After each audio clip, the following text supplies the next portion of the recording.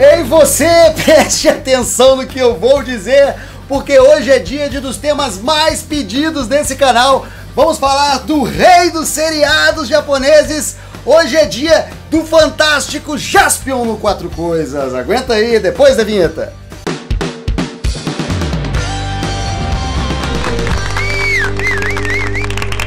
Olá, sociedade de consumo pop, quatro coisas de volta. E hoje é dia de falar de Jaspion, um herói japonês, ou melhor, um tokusatsu, um dos mais famosos, pelo menos aqui no Brasil, porque nos anos 80 a Toei, que produzia esses seriados japoneses com monstros e guerreiros, é, pensou num modelo diferente. Seria uma espécie de policiais com roupas blindadas, usando armaduras, policiais espaciais e assim estavam criados os Metal Heroes. E o Jaspion foi o quarto Metal Hero lançado pela Toei. Antes dele teve o Gavan, o Charivan e o Scheider. E o quarto dessa família era o Jaspion, que tem no seu nome a junção de duas palavras: justiça e campeão é Justice e Champion, então Jaspion é o nome dele. Mas antes de Jaspion, a Toei chegou a cogitar o nome De Niro. Sim, para homenagear o ator Robert De Niro. Mas felizmente alguém teve juízo e decidiu que não era uma boa ideia e acabou ficando Jaspion mesmo. E a série foi lançada no Japão e logo chegou no Brasil com o nome de O Fantástico Jaspion. No original em japonês é algo como um investigador de monstros Jaspion, mas eu acho que ficava complicado demais pro público brasileiro, então meteram Jaspion mesmo. E tá aqui o primeiro volume de O Fantástico Jaspion, com os sete primeiros episódios. O Jaspion é um moleque que tá viajando com os pais pelo espaço e ele cai no planeta, no planeta Edin. Ele é resgatado por um velho também chamado Edin, que é uma espécie de profeta eremita que estuda uma tal de Bíblia Galáctica, onde diz que o poderoso Satangos, que é um vilão intergaláctico, vai aparecer, vai voltar com seu exército de monstros. E para confrontar esse Satangos, vai aparecer um campeão galáctico que vai impedir os planos do perverso Satangos. E é claro que o velho ao ver aquele bebê fala, só pode ser ele. E ele cria o moleque para ser o campeão da justiça, Jaspion. E apesar de ser um velhinho que mora numa caverna, que não tem nenhuma prestobarba para parar o barbão, ele tem acesso a várias tecnologias, como uma nave gigante que vira um robô gigante chamado Dylan.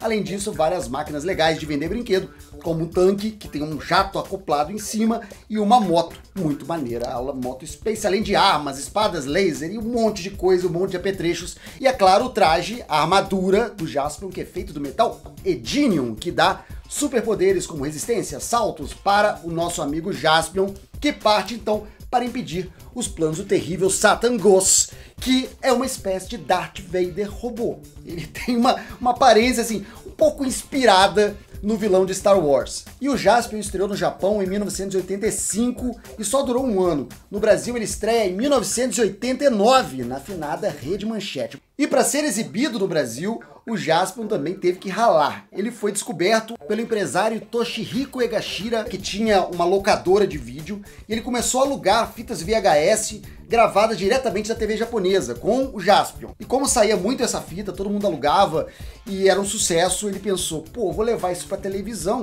e talvez dê para ganhar um bom dinheiro com isso. Então ele pegou as fitinhas dele e levou o primeiro para Globo. E na Globo ninguém levou a sério o Jasper. Isso que jamais vai fazer sucesso. Depois ele levou para SBT e para Bandeirantes, que também recusaram. Sobrou uma, porque naquela época só tinha quatro canais no Brasil. A Rede Manchete, a menorzinha. E foi a Rede Manchete que aceitou o Jaspion e decidiu passar o seriado na sua grade que foi um sucesso inesperado. O Jaspion é o Chaves da manchete, onde você colocava o Jaspion, o Jaspion detonava na na audiência. Chegou a dar 12, 15 pontos no Ibope. Chegou a bater a novela da Globo, Jaspion, para você ver qual era o poder que esse cara aqui, que esse herói tinha para essa geração. Não só o Jaspion, como o Changeman, que não era Metal Hero, era Super Sentai, que são aqueles grupos coloridos de super-heróis que lutam também como monstros, com robôs gigantes, mas o Jaspion foi um estilo que foi apresentado no Brasil com ele. Como eu disse, ele foi o quarto Metal Hero japonês, mas ele foi o primeiro brasileiro. Ele foi o primeiro que chegou aqui.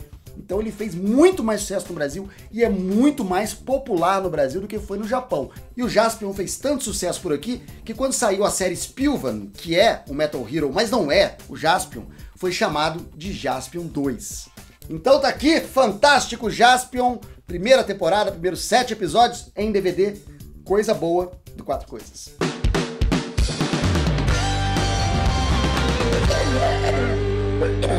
Hora de falar da coisa velha do Quatro Coisas, onde sempre trazemos aqui uma velharia, uma relíquia para você. E uma das coisas que mais chamava a atenção do Jasper era a trilha sonora. As músicas eram muito pegajosas e faziam sucesso com a molecada e todo mundo começava a cantar. Só que as músicas do Jasper que passavam no seriado, elas não eram em português, eram todas de japonês, trazendo pra gente momentos delirantes de traduções espontâneas que acabaram gerando piadas na nascente internet brasileira. E um dos primeiros memes que aconteceram foram justamente uma tradução literal de Dylion, tema do robô gigante do Jaspion. Quem lembra?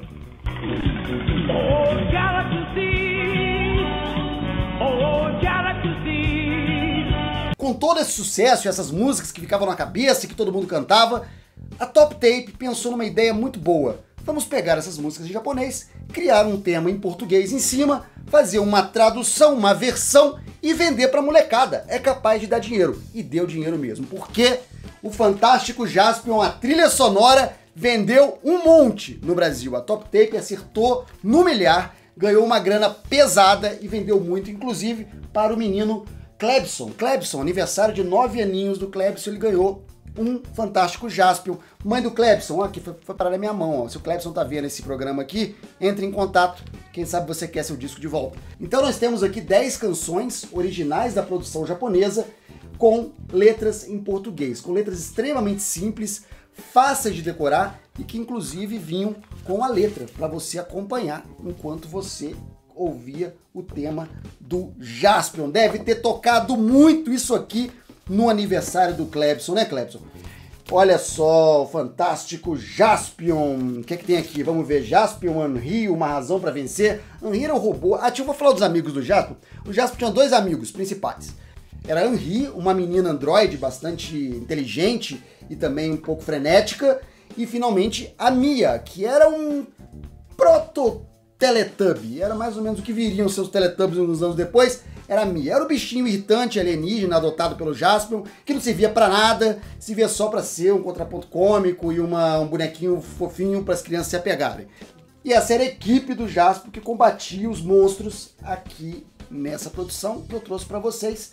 A trilha sonora original em português, fantástico Jaspion. Obrigado, Clebson. Obrigado, mamãe do Clebson. Coisa velha do Quatro Coisas.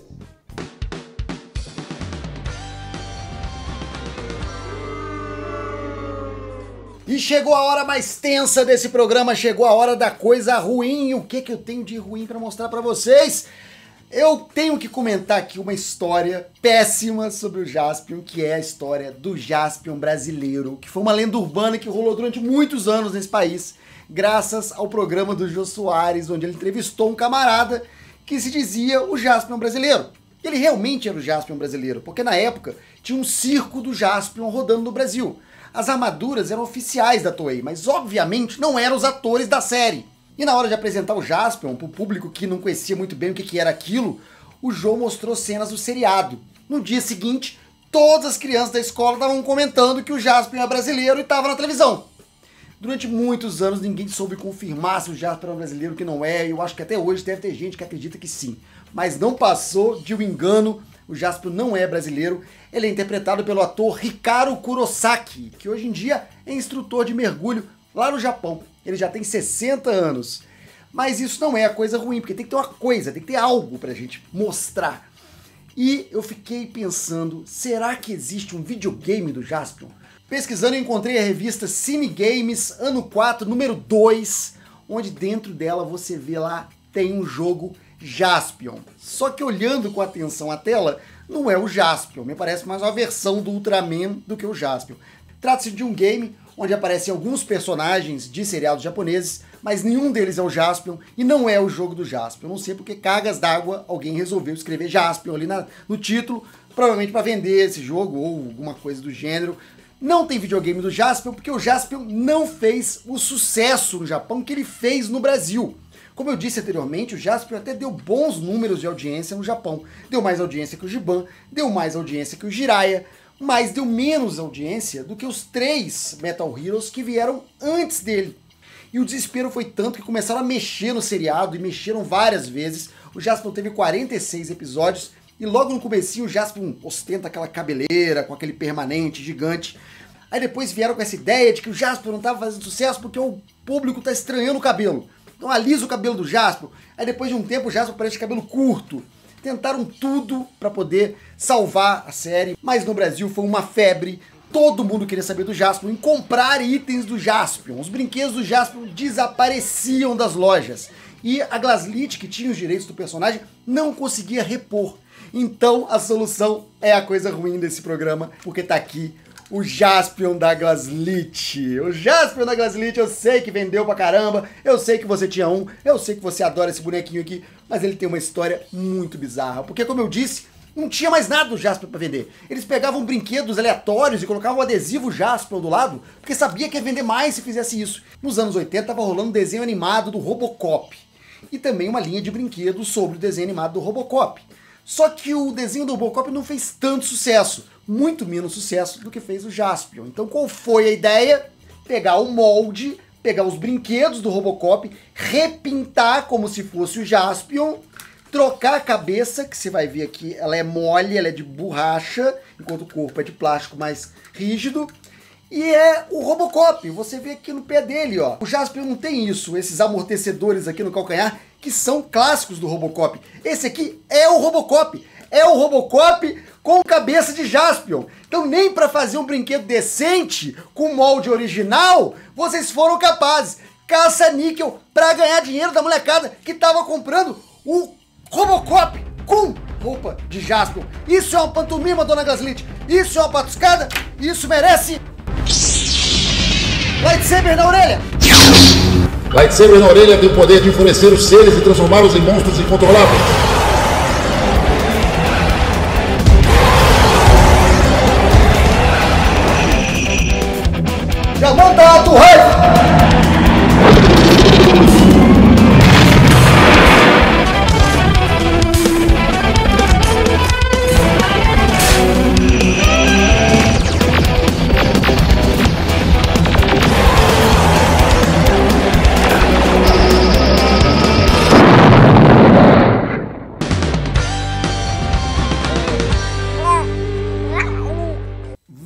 Então para o último bloco do nosso programa. Vamos falar de coisa nova sobre Jaspion. O que, que tem de novo sobre Jaspion? Se você acha que eu vou dar para você detalhes, novidades sobre o filme brasileiro do Jaspion, está muito enganado, porque parece que esse filme flopou. O filme foi anunciado, tem o filme do Jaspion, já tem roteirista, estamos levantando dinheiro, parece que não conseguiram levantar a quantia desejada, porque não se fala mais do filme brasileiro do Jaspion, que seria rodado de São Paulo, com atores brasileiros. Parece que não vai rolar mais esse filme brasileiro do Jasper, não. Parece que foi só um sonho bom que a gente teve. Mas tem coisa nova sim e já tá na mão. Tá aqui o regresso de Jaspion. Roteiro do meu amigo Fábio Abu, que já apareceu aqui no Quatro Coisas, no Quatro Coisas sobre Power Rangers, dá uma olhada. E arte de Michel Borges. E é uma arte muito caprichada, tem uma introdução em cores e logo depois o miolo em PB no estilo mangá. Depois aqui tem ficha técnica, tem os, sobre os personagens, Satangos Magaren, que é o filho de Satangos, que é uma espécie de Jaspion reverso, ele também tem uma armadura feita de Edinium, mais um Edinium escuro, fazendo ele o lado escuro, lado obscuro do Jaspion. Enquanto o Jaspion representa a luz, o Bagaren representa a escuridão. E o regresso de Jaspion é isso mesmo, Jaspion retorna depois da série se passa diretamente depois da série e dá mais detalhes sobre os personagens, sobre o destino dos personagens, sobre tudo que rolou depois da série. Então, para aguardar você que é um fã de Jaspion, não pode ficar sem o regresso de Jaspion. Uma edição feita com muito carinho por quem curte o personagem, conhece o personagem e tem várias citações aqui à série original e coisas muito legais para você descobrir, redescobrir ou reencontrar esse personagem no regresso de Jaspion. Coisa nova do Quatro Coisas.